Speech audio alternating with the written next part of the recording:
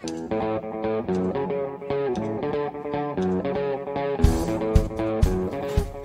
zadnje vrijeme nisam imao nešto puno mašte, ali ovaj, kad sam jučer došao u Pureksa, vidio ja jednu kokošetinu od 3 kila. Ma kaže da ja nju uzem pa ćemo napraviti nešto s njom.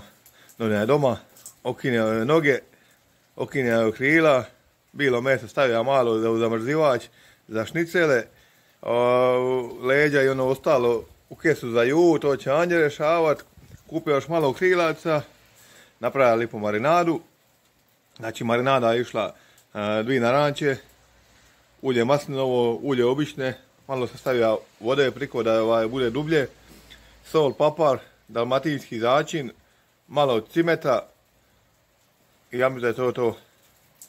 I sad ćemo, pošto su veliki komadi kokoše, ćemo ih usmokre jedno, dvije, tri ure, evo sad je 11 sati, tamo će biti za ručak. Ne? Na indirektno kao i obično i sad će njih utrpati. Evo, pošto sam linčina, nataka sam ove krila na, ražnjiće da ne mora svako posebno okličat.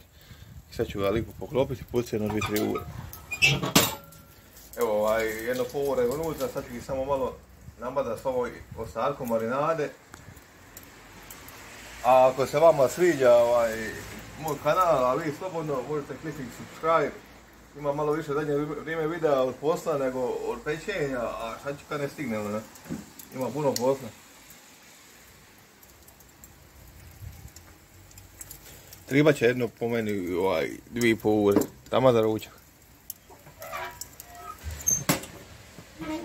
Kiša pada, ali ne dam se ja. Evo sad bit će uro, uro i Evo sad unutra jedno dvije i pol ure, sad ću ja sam malo samo zapeći. Tiko žara.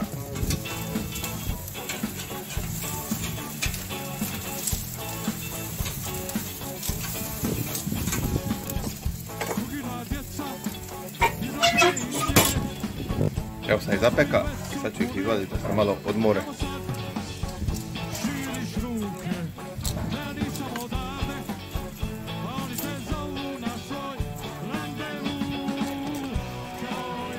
Vada sa smokerom nešto dosta kalaju u težini gdje se ocidi.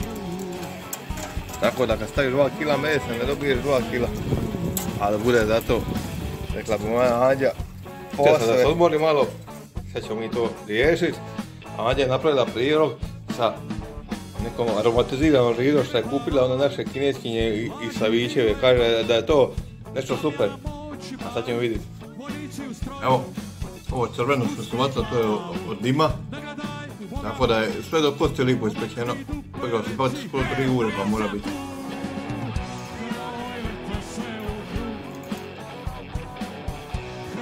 Riža isto odlično.